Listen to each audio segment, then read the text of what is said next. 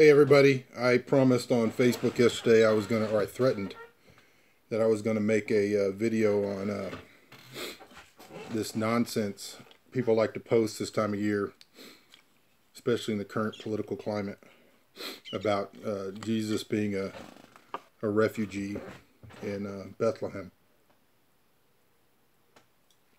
And um, it happens a lot this year. People like to take a, a story they don't know anything about they've only learned from uh, nativity scenes, I guess, or Christmas specials. And, uh, you know, I don't have a particular beef with, uh, I guess I do. I got a beef with liberals and conservatives, especially the fringe on both sides. But I think this one particular is being used to, I guess, have some type of commentary on immigration and such. And uh, and usually they're just idiotic.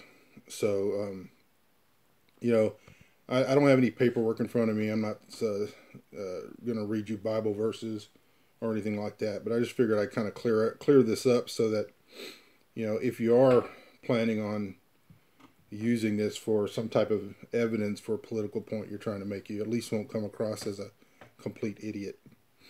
So, uh, no, Jesus was not a refugee in Bethlehem. Bethlehem was his father's hometown and it was about 90 miles from Nazareth. And assuming that uh, Joseph and Mary uh, went there from Nazareth, which we have no reason to really assume, it was a trip of about 90 miles, which was not an easy trip. I mean, you know, she was pregnant. Uh, we don't know how pregnant. We don't know how long uh, they were in Bethlehem, but it was quite a while. Um, they didn't get there that night. It would have taken them just a regular travel, probably maybe a week or so to uh, to get there, and they had friends along the way. So uh, neither did they uh, get to Bethlehem and get turned away at the Motel Six. Uh, uh, that's one of the ones that gets me, uh, and a lot of that's because people don't understand both Middle Eastern practices, and they don't understand that there weren't Motel Sixes. Um, Bethlehem wasn't a big city. It wasn't on a major highway, and so it was. Uh, there would not have been any what we call inns there. Um, when when the scripture says that there was no room at the inn, that's a translation of a word, and that word is translated. Um, the word inn appears in in the New Testament a couple of times. This is not the word that is the same word that is translated as in uh, in the story of the Samaritan who the good Samaritan who came across a uh, uh, Hebrew who had been beaten and um, basically left for dead, and he took him carefully and took him to an innkeeper and paid his, uh, you know, fee and said, "Take care of him, and if you incur any other costs, uh, when I come back, I'll pay those too." That's an inn that you're thinking about, like a, a a room or a place where people would pay to stay uh, on a, on a trip. There were very likely none of these in uh, in Bethlehem. The word inn uh, uh, is as it's translated there basically means a guest room. And um, since we know that Joseph and Mary were in Bethlehem for some time, because the scripture says that when the days of her pregnancy had come full, so she had been there a while, that um, when the actual birth happened, there was no room inn the guest room. This word "in" is also translated uh, when we when we see the the uh, the apostles looking for an upper room uh, to have a meeting or to have the Passover. This is a, a uh, basically it's a guest room in a Middle Eastern house, and the room wasn't big enough. There was no room to keep the baby in the guest room and so they laid the baby in a manger. This was not in a stable, it was not in a barn.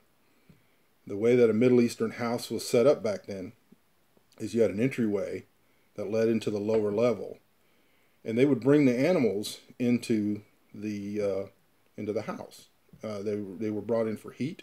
They were brought in to protect them from predators, to protect them from theft, and you know, they lived differently than we live today. Uh, it was quite common uh, throughout the Middle East, all the way up into Russia and Europe at the time, to uh, keep your animals in the house during the day. And then um, there was an upper level where the family would stay and they would have a guest room for people that were guests. And it was very um, important to those uh, people at the time to be hospitable. In fact, there's great curses in the Bible upon people that are not hospitable. There's no way that a pregnant woman was stuck in a in a stable to have a baby. Uh, that just didn't happen. That's that's an insult on the Middle Eastern culture. Uh, they uh, uh she she started to have the baby, and she had the baby, and they, there was no room in the upper room in the in the guest room because there was a lot of people in Bethlehem at the time because they were there to pay a tax, and that's the other thing I want to get to. Um, this is not a refugee story. This is like you going to your hometown and staying at your parents' house. Um, they were there because they were being forced by the government to pay a tax. And so, if anything, this is not a refugee story, this is a taxation story, which doesn't fit your narrative. Uh, if you're posting this, that Jesus was a refugee because you, or an illegal immigrant, uh, you can't be an illegal immigrant into your hometown when you're going there commanded by the government to go pay a tax. And so it just doesn't work. It's a it's an idiotic uh, fallacy, and it's it's it's ridiculous. Uh, now Jesus was a um, a refugee in Egypt. This was about two years later, and we know this because. Oh, and by the way, when, when, when Jesus was born, there were no kings there. There was no three kings coming from the east.